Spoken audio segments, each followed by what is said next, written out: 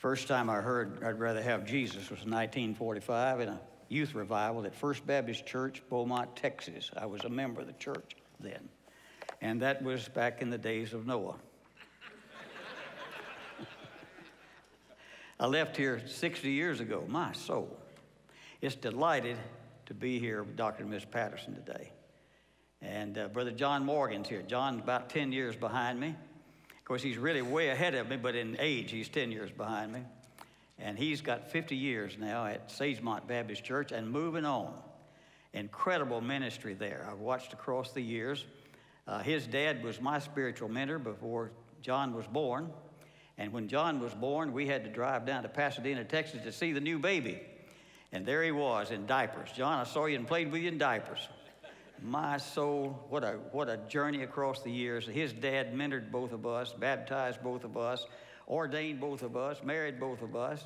And uh, it just uh, put his life into us and taught us those lessons that we've learned across the years uh, as we've uh, served the Lord Jesus Christ.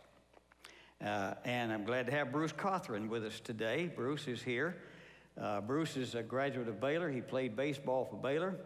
And Bruce and I have walked through some troubled waters and some deep waters and, and uh, some grieving waters. But Bruce is serving the Lord and moving on, aren't you, Bruce? It's great.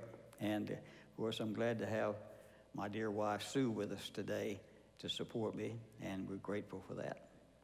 Well, I thought what I would do today regarding this matter, when they said, come talk to us about 50 years of service at your church, how to, how to plan a church and how to stay with it, I thought, first of all, I need to probably take you through uh, some of the process of how I got there, because it is a journey that we each need to learn that God has a plan for every one of his ministers.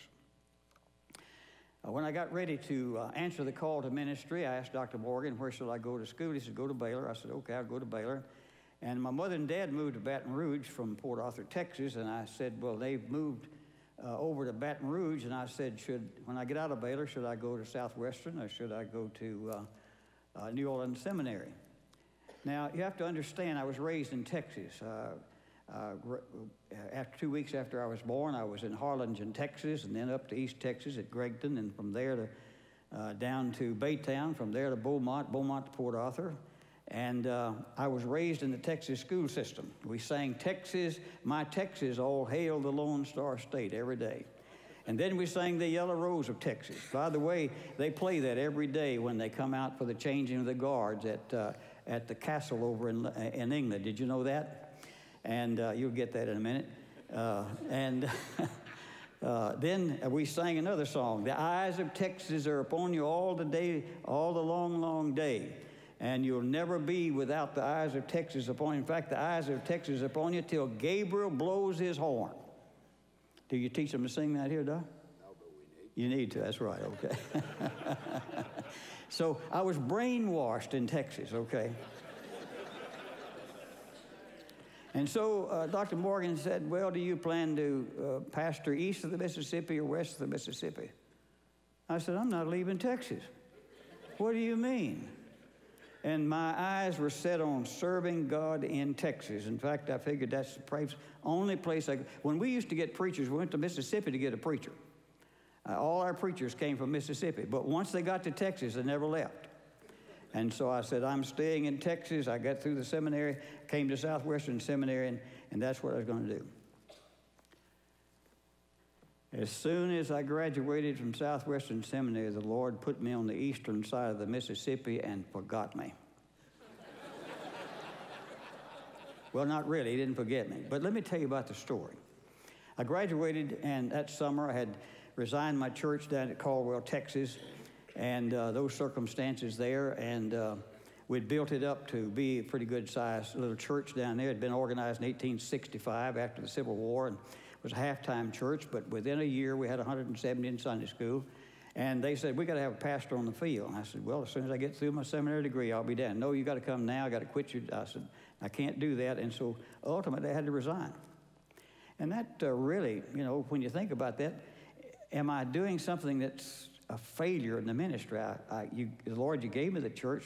It's prospered, but I've got to wait. And, and of course, what they told me is if God called you to preach, He called you to prepare. And I was almost through with my degree, and I said, Well, okay, you want somebody in the field, go ahead and call somebody. I'll go on and finish my degree. And when I graduated, I had uh, John Archie McKeever was here, and he'd find me a place to preach every so often. And nobody was interested. In fact, I went out to a church one time. They paid 20 bucks a week. I'm serious. And they questioned me, and then they had a final question. They said, Does your wife play the piano?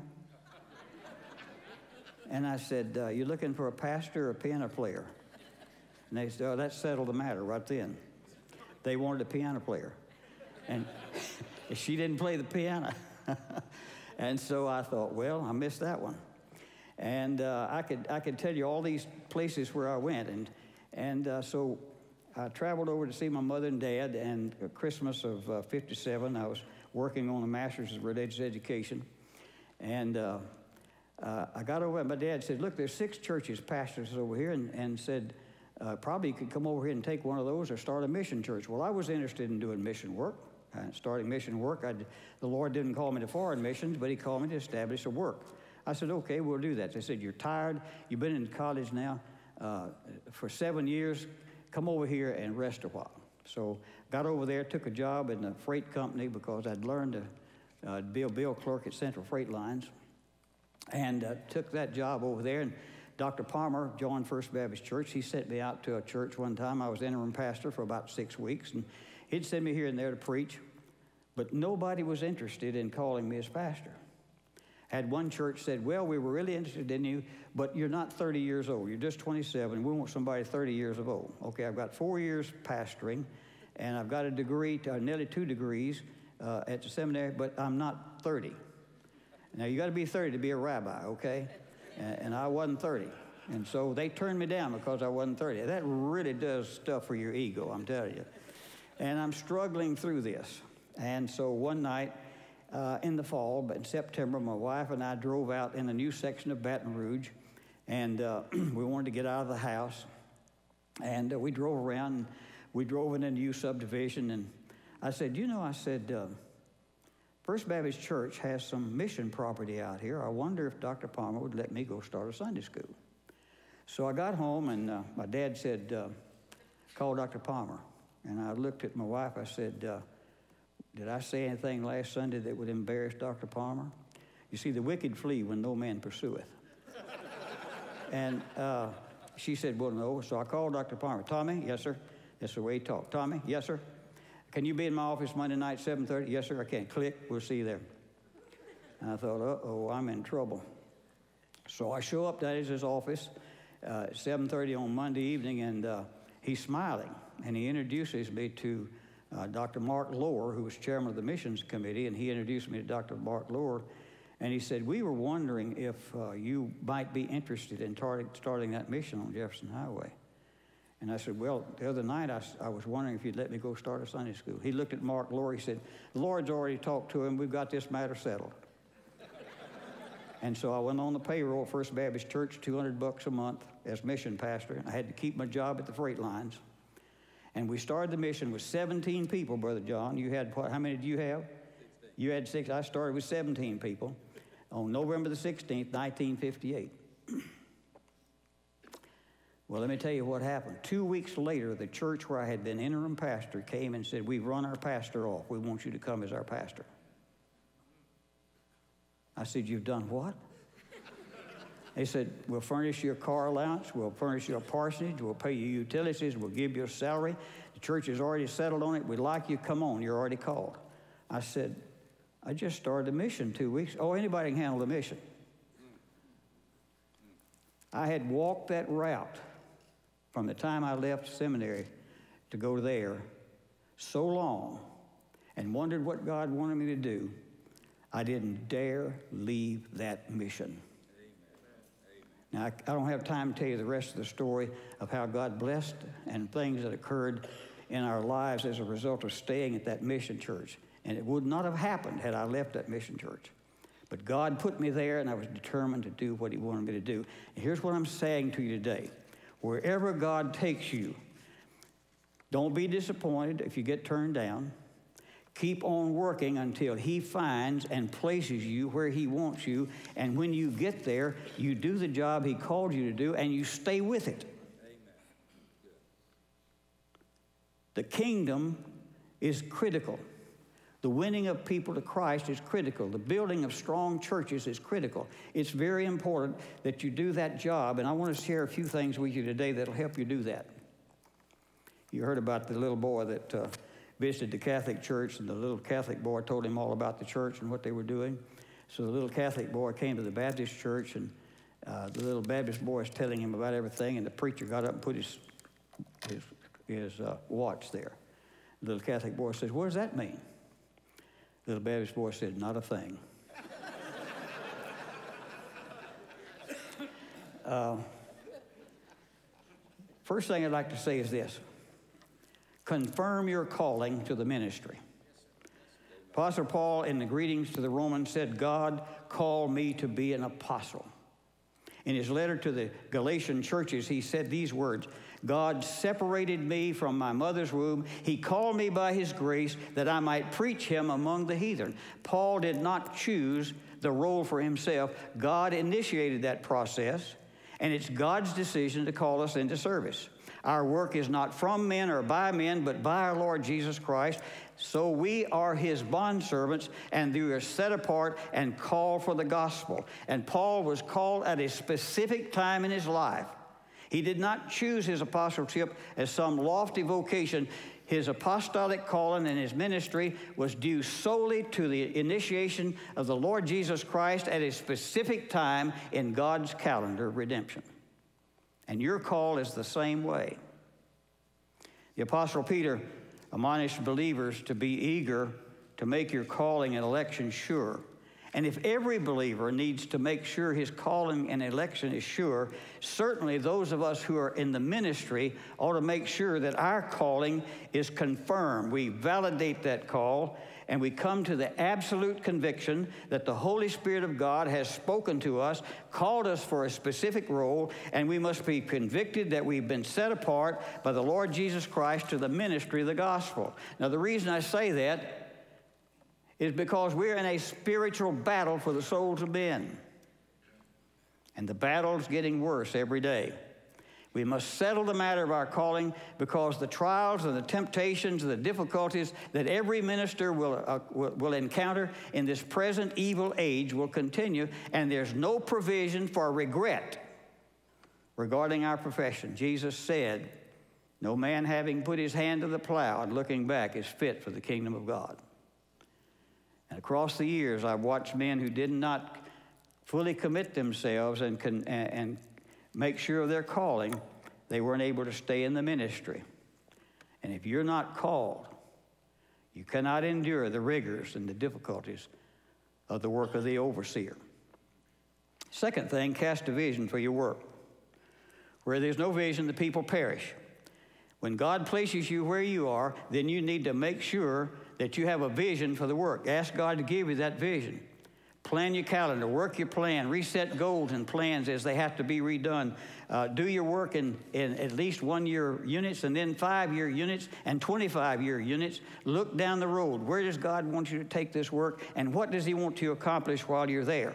And it's important you keep that vision before the congregation and before the community.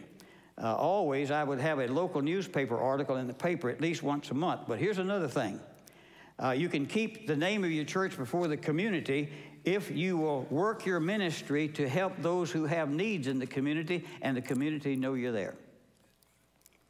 Draw the membership into the planning process. Let them help you do that.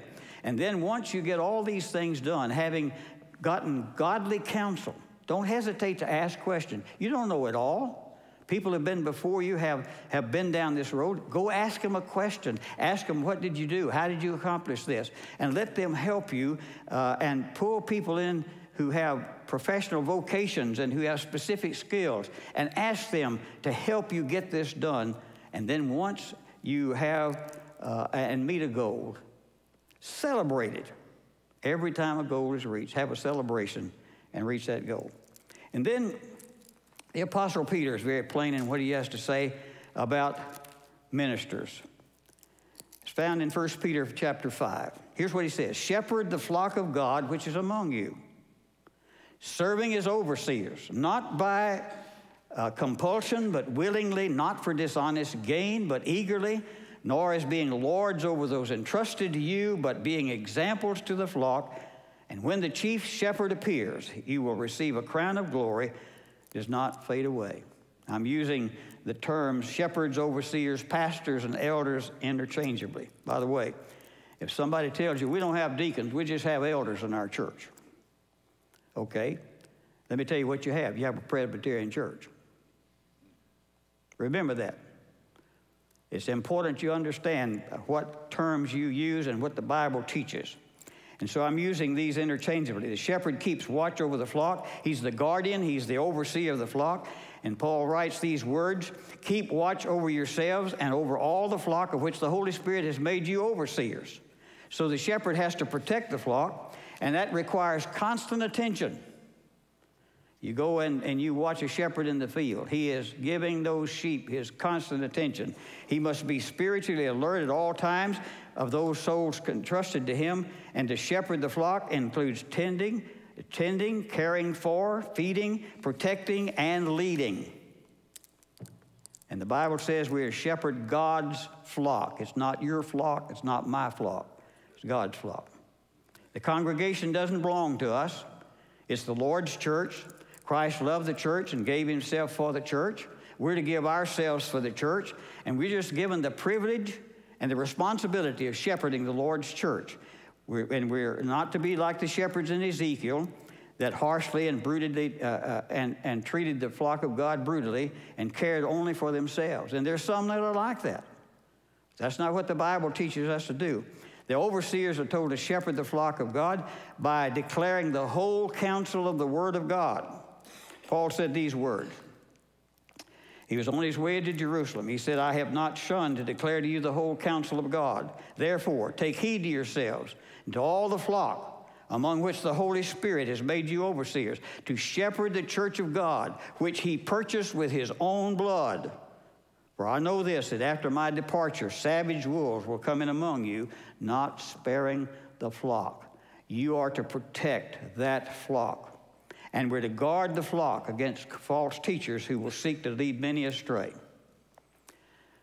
When I hear someone say that he has a new understanding of a passage of Scripture, my spiritual antenna leaps to full alert. Usually, what a person means is that regardless of what is clearly written in the Scripture, he feels privileged to adopt an alternate meaning that, excuse, meaning that excuses him for his particular situation that is in conflict with the Word of God. Watch out. Paul wrote these words All scripture is given by inspiration of God. All scripture is God breathed, and God does not breathe error. That which has been given by inspiration of God is truth without any mixture of error.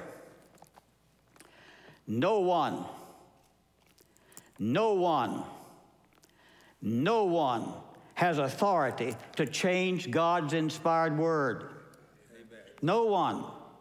That which God calls is sin is sin. That which God calls is righteous is righteous. That which God calls an abomination is an abomination. That which God states is immoral is immoral. That which God permits is to be permitted. That which God forbids is to be forbidden. And no one no one has authority to lower biblical standards, and no one has authority to change what's written in the scriptures. Jesus said, All authority in heaven and earth has been given unto me. He's the one that has the authority. And God forbids the changing of His word in the Old Testament. You shall not add to the word which I am commanding you, nor take away from it, written in Deuteronomy. And then in the final book, the book of Revelation, as God concludes and tells us what's coming at the end of the age, he writes these words by the Holy Spirit. If anyone adds to the prophecy of this book, God shall add to him the plagues that are written in this book. If anyone takes away from the words of the book of this prophecy, God shall take away his part from the tree of life and from the holy city, which are written in this book. And then Paul tells Timothy, that young preacher, I charge you, therefore, before God and the Lord Jesus Christ. Listen to those words. I charge you. I put you under the charge of God Himself and our Lord Jesus Christ, who will judge the living and the dead at His appearing and His kingdom. He will judge. Preach the word. Be ready in season, out of season. Convince, rebuke, exhort with all love, long suffering in season. And out of and and and convince and rebuke and exhort, for the time will come when they will not endure sound doctrine, but according to their own desires, because they have itching ears, they will heap up for themselves teachers, and they will turn their ears away from the truth and be turned aside to fables. That's happening today. It's everywhere. It's unbelievable what people will tell you they believe or they don't believe. It's not based on God's word. I, I get, uh, I get amazed sometimes. I had a, uh, a, minister of a different denomination one time when I was discussing with him something. He said, Well, that's Paul. I said, Yes, that's Paul. I said, Isn't it interesting that when God was ready to have write half of the New Testament under the inspiration of the Holy Spirit, he chose the man that had exceeded Gamaliel in his scholarship to write half of the New Testament. And you want to say that's just Paul? That's the written word of the living God, and we're to live by it. Well, Peter addresses the issue of the attitude of the shepherds. We're to serve with joy, not under compulsion. It's not just another job, and we don't serve so that the church so we can scale money off from the church. We're to serve eagerly, which means we need to be ready and willing to serve. We're not to use our positions of authority uh, to oppress those that, that uh, are under us, but we're to serve, to serve as examples to the, to the flock. And there's always the attention, there's always the temptation to abuse authority. But Jesus instructed his disciples not to imitate the Gentiles who use their authority to rule over others and advance their own interest. So the shepherd is to oversee, he's directed to lead, he's to guide, he's to rule, but his model is the Lord Jesus Christ. And he's a servant leader who sets an humble example for the flock to follow. And a shepherd who exalts himself as a ruler is an unbearable tyrant. My goodness. Well, he's to be an example of the flock. You want to ask your people to tithe? You tithe.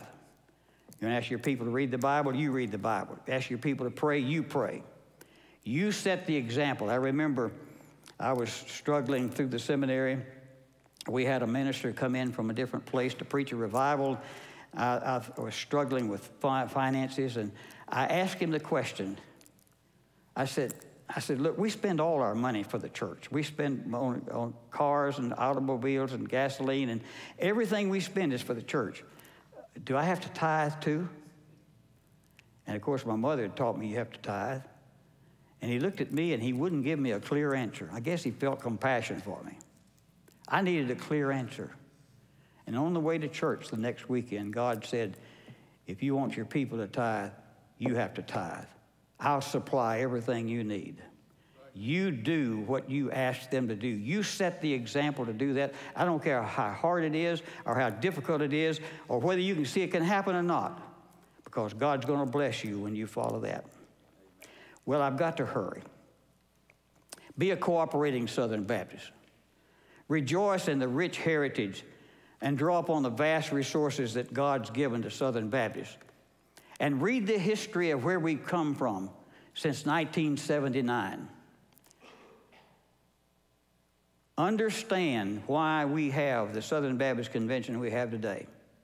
And don't let anyone take it away from you or move it in a different direction because the battle has been hot and it's been difficult, but God has blessed and we've been spared. Don't let anybody else with any other uh, idea or any other uh, theology come in and take it away from you. Teach the congregation about the work and the world mission work of Southern Baptists. Support every offering that Southern Baptists have. Support the cooperative program. You're here today because of the cooperative program. I serve because of the cooperative program. Brother John served because of the cooperative program. And remember this you don't have to protect your people's pocketbooks, they do that all right. giving begets giving. and they'll give. Jesus said, You have not because you ask not. Teach the Baptist faith and message. Somebody said, Well, that's just an old creed. Anybody ever heard of B.H. Carroll? Well, you ought to read, uh, you ought to read the commentary on the English Bible. Everybody ought to be, now, have some words in there you're not going to like, okay? That's okay. But you ought to read the commentary on the English Bible. Here's what B.H. Carroll said A man without a creed is like a jellyfish. He has no spine, that is, he has no theological backbone. And these people that go out here and they say, oh, no creed but the Bible, do you know where that came from? It originated with Alexander Campbell and his salvation by works theology. I stand with B.H. Carroll. I hope you'll stand with B.H. Carroll. Then also you need to, you need to uh, organize the work. Jethro told Moses, you got to organize your work. And, and, and it's important to do that. Teach your people to be debt free. Get yourself debt free. Teach your people to be debt free. And Paul wrote these words. He said, Owe no man anything except the perpetual debt of love. And God said to the children of Israel, You shall not you shall lend, but you're not going to borrow, which means the world will support the kingdom of God, not you support the world system.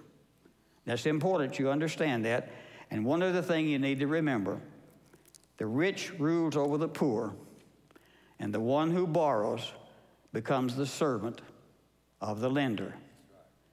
And you buy an automobile, you don't pay the payments, they're going to come get it because they own it. You don't own it.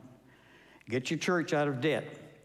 Once we got Jefferson Baptist Church out of debt, God began to shower us with all kinds of income to help us do that. We became uh, one of the leading churches in Louisiana in the giving to Lottie Moon and to uh, the various and, and to uh, the Annie Armstrong offering and all of that. And that's what we wanted to do. We wanted to, we wanted to help set the tone of how to get things done. And God let us do that. And here's another thing you need to say when you preach, don't give a biblical lecture. Link it to what's happening in the world so your people can understand that God's on the throne and no matter what's around them, God has an answer to what's going on in our world today. Another thing I want to quickly tell you do not judge your work by the work of other ministers. God put you there to do your work. Let Him judge your work. And I want to say this quickly. A young man came to my church. John was his uh, roommate at, at college preached a revival. He said, I'm going to go back to Dallas. I'm going to start a new mission work. And I thought, why would you leave that big church where you are and go start a mission work?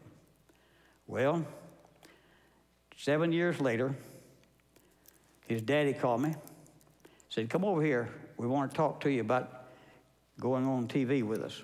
I said, Okay. I got over there. It's called Prestonwood Baptist Church. I looked at that thing. I said, Look what he has done in seven years. And I looked back at Jefferson and I thought, You haven't done anything, French. And God said, Yes, you have. I didn't put you over there, I put him over there. Because he has the word, he has the ability to do that. I put you there because you have the ability to do what you're doing there. You keep doing what you're doing, I'll judge your work. Don't judge your work. Don't let the devil judge your work by what somebody else is doing. And here's one other thing, and I got to quit. I'm out of time. I wrote more than I can preach. Dr. Leslie Carlson taught my first seminary class called Biblical Introduction. He taught it in Truett Auditorium with a 35 millimeter projector. There were 400 of, us, 400 of us in the class. How many of you got 400 in your classes today? Well, he taught my final class before graduation in the summer of 57. It was an advanced Hebrew class. I remember his final words before we were dismissed. He said these words Boys, you have to love the deacons, warts and all. You got to love the deacons and the sheep, warts and all, because Jesus loved you and he loved me. And we love them because he first loved us. Thank you for letting me come. God bless you.